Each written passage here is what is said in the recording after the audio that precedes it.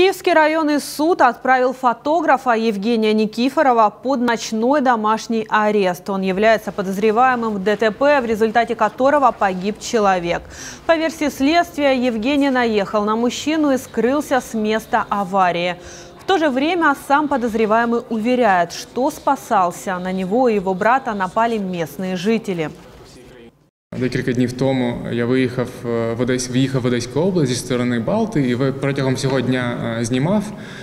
Е, І останнім моїм пунктом на цей день були зйомки у селі Васильівка Одеської області. Але я завершував день зйомками з дрону, і до мене підійшли, підійшла людина, яка без зайвих слів просто одразу почала нападати і намагатися забрати в мене е, цей дрон. Е, Я передав його брату.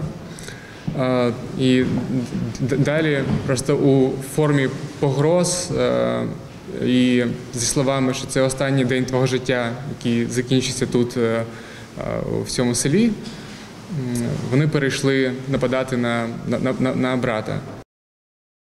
На видео, которое попало в интернет, хорошо видно, как двое мужчин пытаются пробраться в автомобиль Hyundai. Один из них на костылях. Другой пытается залезть на переднее сиденье машины с пассажирской стороны. Автомобиль сдает назад вместе с мужчиной и уезжает. Через несколько часов после этого инцидента с Евгением Никифоровым связались и сообщили, что человек, который, по словам подозреваемого, на них напал, умер. Полиция задержала фотографа за нарушение правил дорожного движения, которое повлекло гибель человека. Адвокат подозреваемого на этапе избрания меры уверял, что Евгений на автомобиле двигался назад, чтобы скинуть 37-летнего мужчину со своего брата. Но тот продолжал держаться за автомобиль. Поэтому он решил ехать прямо, чтобы тот отцепился. Защитники убеждают, что скорость была в пределах 40 км в час и никакого наезда и вовсе не было. Подалі в питаннях так, е, міри запобіжного заходу ми будемо подавати апеляційну скаргу, тому що ми вважаємо взагалі неможливо обирати будь-якого запобіжного заходу особі, яка не вчиняла будь-якого злочину.